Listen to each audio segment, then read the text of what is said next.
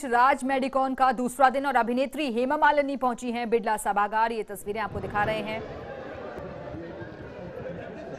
Film अभिनेत्री और सांसद हेमा मालिनी को आप देख सकते हैं। तो आज राज मेडिकॉन का दूसरा दिन है और बिड़ला सभागार से लाइव तस्वीरें इस वक्त आपको दिखा रहे हैं।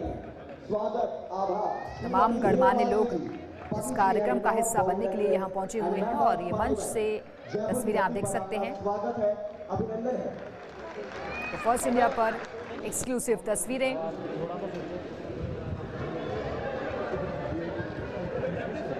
कल हमने आपको तस्वीरें दिखाई थी जब पूर्व राष्ट्रपति प्रणब मुखर्जी भी पहुँचे थे जयपुर इस कार्यक्रम का हिस्सा बनने के लिए। और आज राज मेडिकॉन का दूसरा दिन इस मौके पर अभिनेत्री हेमा मालिनी ने शिरकत की है।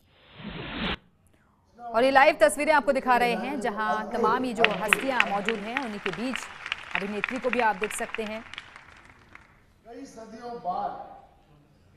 और ऐसा पहली बार नहीं है जब ये फिल्मी सितारे इस तरीके के कार्यक्रमों में शामिल हुए हों।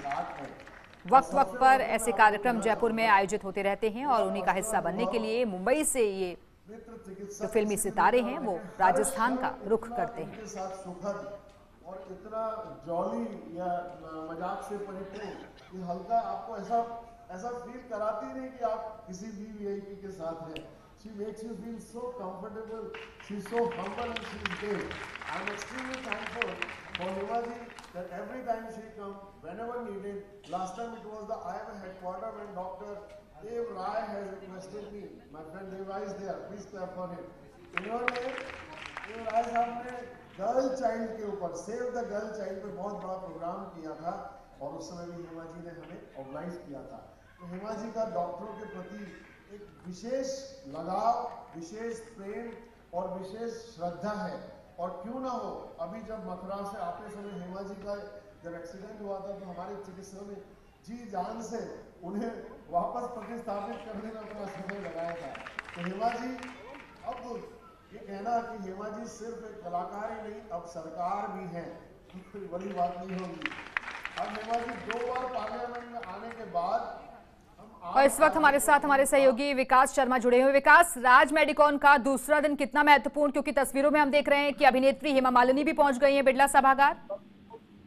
देखिए राज मेडिकल का आज का दिन का जो पहला सत्र उसका उद्घाटन करने के लिए सांसद और फ़िल्म अभिनेत्री हेमा मालिनी जो है, वो पहुँची है। डॉक्टर से भी आप देख सकते हैं विश्वास केंद्र की तरफ़ से डॉक्टर्स में हेमा मालिनी को लेकर क्लेम नज़र आया जब कार्यक्रम में मंच पर सैकड़ों की तादाद में डॉक्टर